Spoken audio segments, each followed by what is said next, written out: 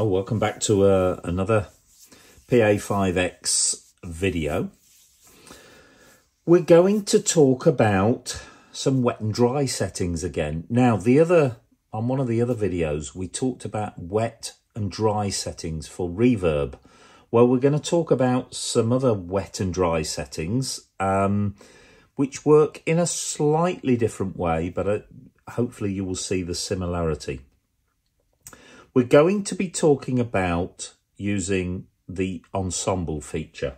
Now, I've got my James Last settings in, and the first keyboard set is James Last, strings and choir.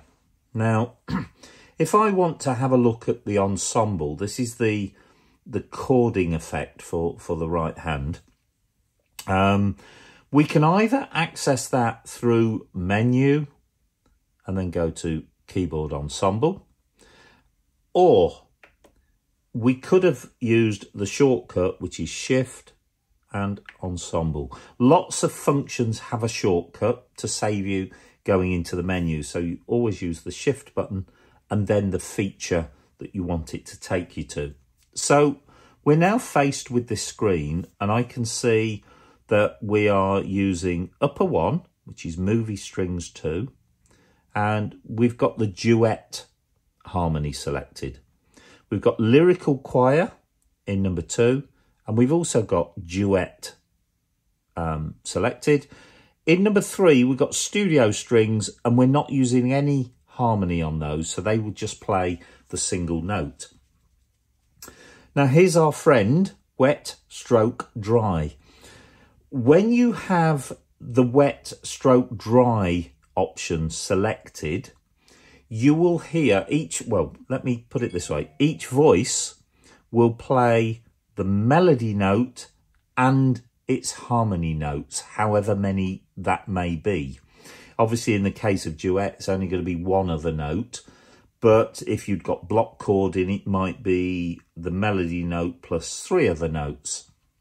Um, so wet stroke dry means that each sound, so the movie strings and the lyrical choir, will play both the melody note that you're playing and the harmony note. Let's just have a, a quick listen, just put the synchro start on.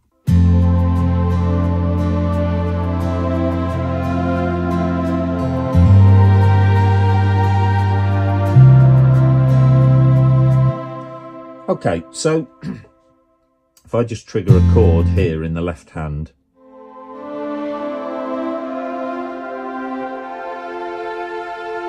we can hear that both the choir and the strings, we can hear the melody note that I'm playing. But if I set the choir to just wet only, that means that the choir will only play the harmony note or notes and not the melody note. Now just listen.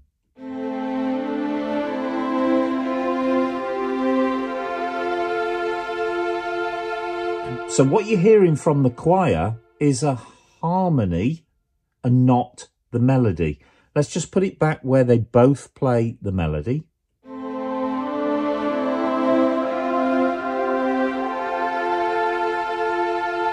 Now let's put the choir onto wet only.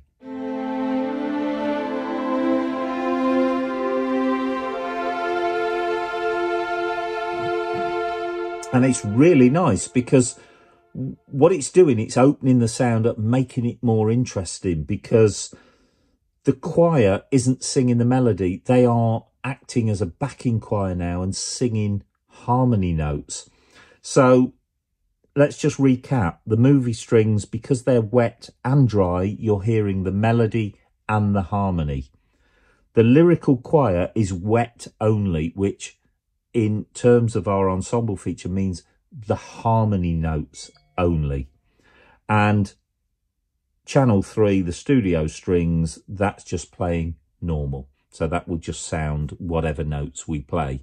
So now let's just, well, let's do, do the same bit and do it twice so you can hear the contrast. And what I want you to listen to in particular is the choir part. Um, so this is with both the melody and the harmony being played by both of these sections. Again, just a recap of what it sounds like.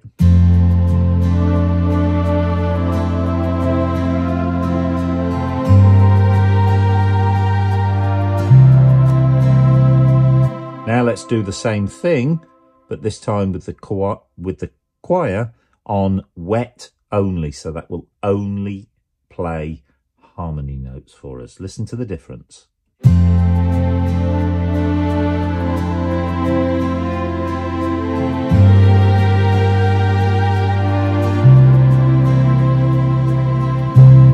So really, really nice effect. So that is what is meant by wet and wet and dry in the ensemble section.